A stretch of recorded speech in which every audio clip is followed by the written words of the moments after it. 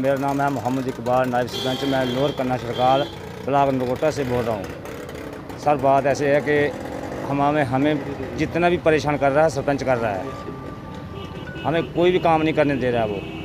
हमारा यही मसला है कि हमारे गवर्नर साहब से अपील है कि हमारा फौरी तौर पर एक्शन लिया जाए। हमें अठारह महीने हो गए हैं, सर। हमें तो कोई नहीं पूछता ना सरपंच ना सेक्रेटरी और सरपंच मिले हुए हैं। हमारी कोई बात ही नहीं है। प्लान बनाते हैं, सर। उसमें हमारा कोई जाली सैन किए जा रहे हैं। ये भी एक गवर्नमेंट से हम अपील करते हैं कि जाली सैन हमें इलेक्टर पंच बनाए गए हैं जो।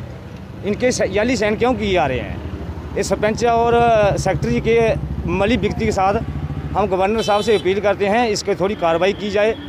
सरपंच ये मनमानी करता है, ये अपनी ये मनमानी करता है, अपना सिक्का जमाना चाहता है वोटरों को साथ लेकर जो प्लान बनाए जाते हैं, ये कहीं नरगोटा में बनाए जाते हैं कहीं सेदड़ा में बनाए जाते हैं हमें तो कोई पूछता भी नहीं है।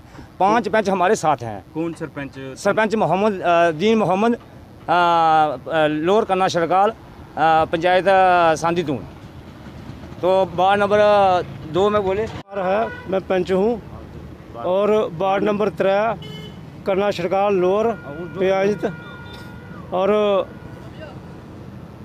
और ब्लाक नरकोटा क्या प्रॉब्लम है प्रॉब्लम ये है सर कि सरपंच मनमानी करता है तो हमें किसी भी काम पर नहीं उन्हें, उन्होंने लगाया है। प्लान जो बनाए हैं, वो भी अपनी मर्ज़ी से बनाए हैं, सब जाली सर बहुत फ्रॉड हो रहा है हमारी हमारी पंचायत में तो लिहाजा इनकी जानकारी की जाए।